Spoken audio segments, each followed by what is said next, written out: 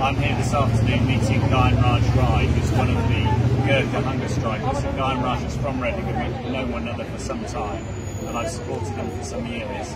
I hope that this can be resolved, and I'm supporting the call for the government to negotiate and meet with the Gurkhas. It's an all-party letter which I've signed. Um, the Labour Party is also very interested in this, and my colleague Stephanie Peacock, who's the Shadow Veterans Minister, has met Gyanraj today. We are together calling for fair treatment for Gurkhas. Please do support this valuable campaign. Thank you.